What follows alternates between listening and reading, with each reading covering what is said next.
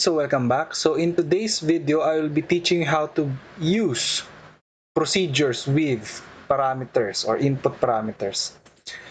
So first, again, let's just input our library, declare a library. Then let's again use these two messages, so test message 1 and test message 2 that contains this is the first test message and ah, second test. Okay.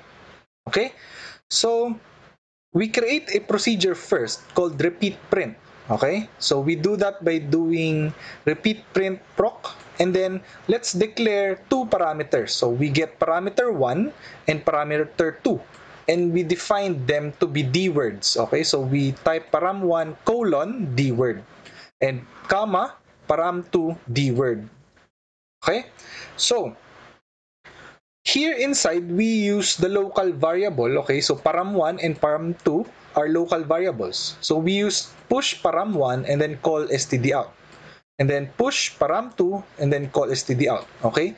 So take note that param1 and param2 are the local variables. So where does param1 and param2 get their values?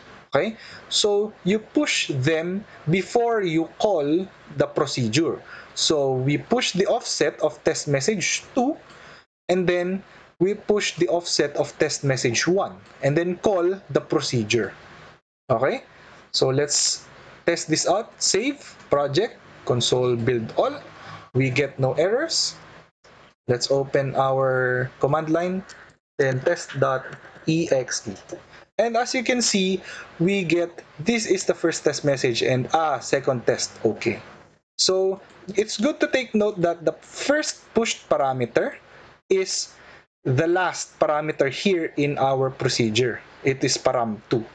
And then the next parameter pushed before the call is the second to the last parameter that you have declared. Okay?